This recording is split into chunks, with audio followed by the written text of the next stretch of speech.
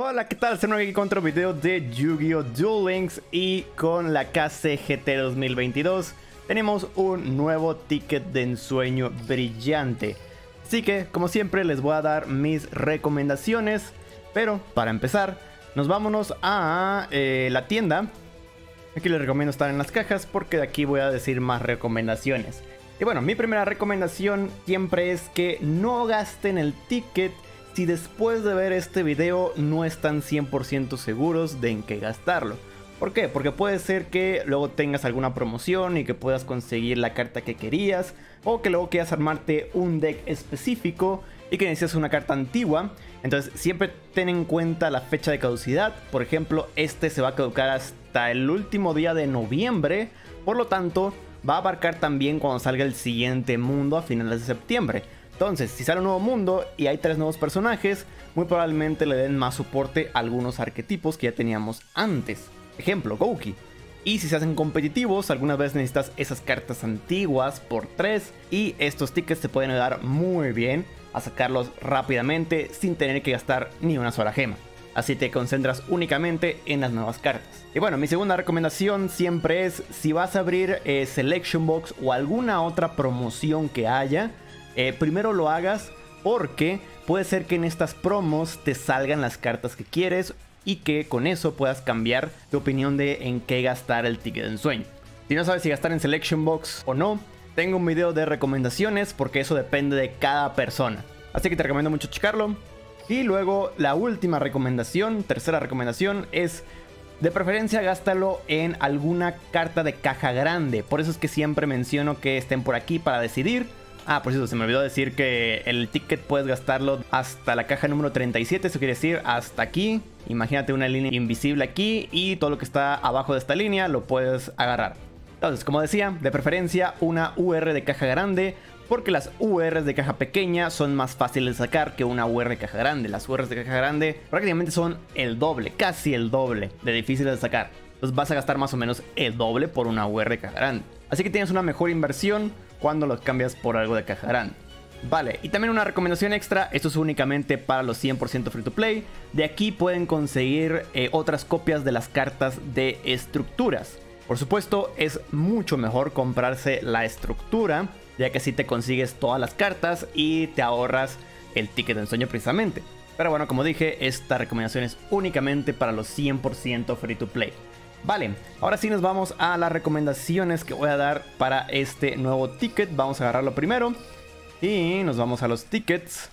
Vámonos hasta abajo casi. Aquí está, KCGT, como dije, se caduca hasta el último día de noviembre, entonces va a abarcar hasta que salga el siguiente mundo.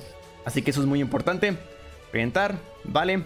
Eh, ah, mira, aquí ya está el botón de cajas. Muy importante, pónganle botón de cajas porque así se quitan cartas que son de eventos, como por ejemplo esta cosa, no la queremos.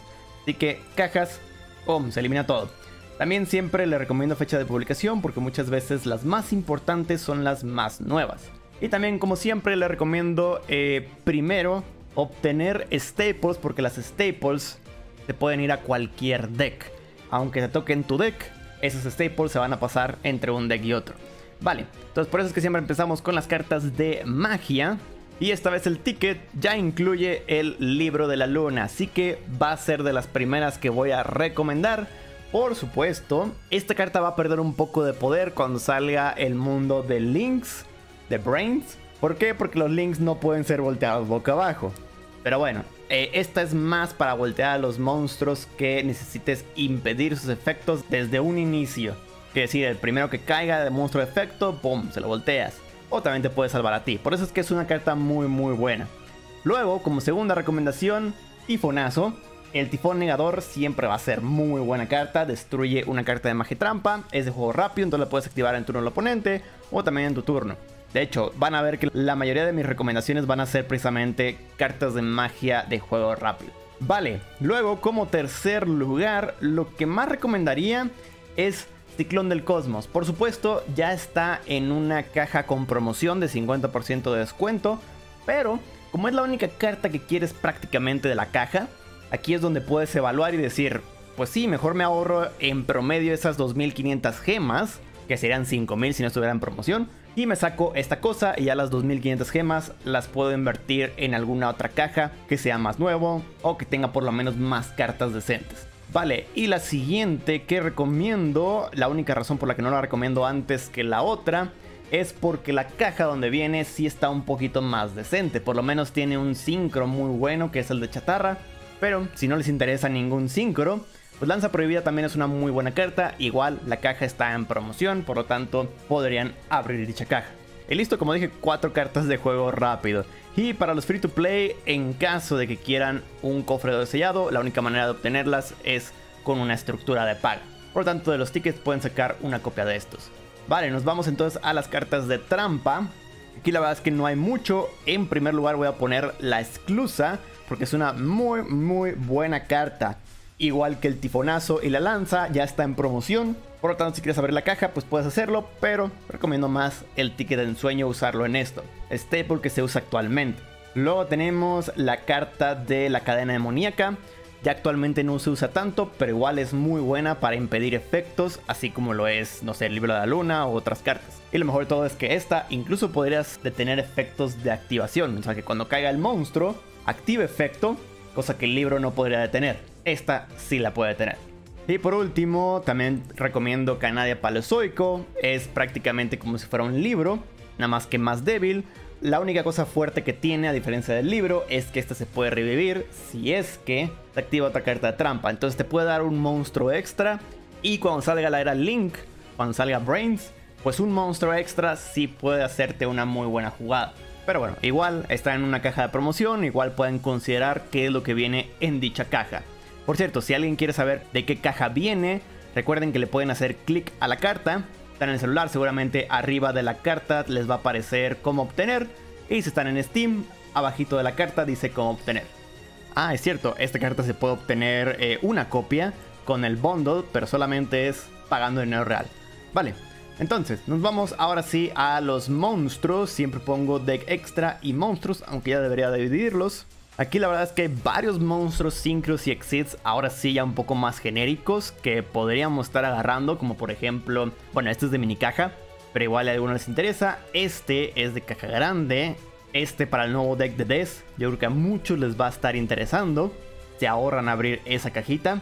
¿Y qué más? Ah, pues sí, yo, creo que ahí sí tienen que estar viendo qué cartas URs eh, de las cajas grandes sí les conviene, de los monstruos, pues. Porque ahí sí yo creo que depende de cada quien, de qué es lo que pueda hacer tu deck. Si puede hacer eh, rangos 8, si puede hacer rangos 4, sincronía, si es que tienes eh, cantantes. Pero genéricamente aquí casi siempre recomiendo a Kuribo. Igual, una caja muy vieja, donde ya no viene prácticamente nada más que el mismo Kuribo.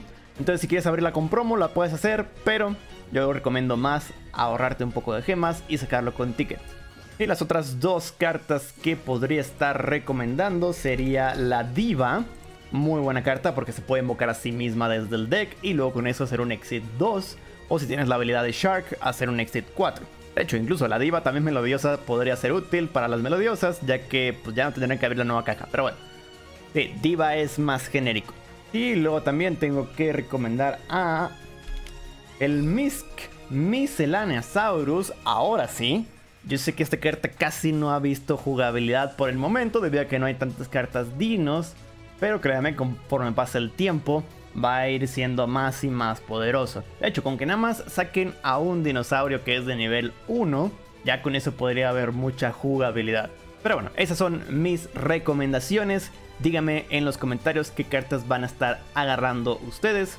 Como dije, chequen bien las recomendaciones iniciales para poder definir qué carta agarrar. Por mi parte, eso será todo. Muchísimas gracias por haber visto este video. Ya saben que para cualquier recomendación, noticias o filtraciones del juego, están en el lugar correcto. Así me despido. Nos vemos en la próxima. Bye bye.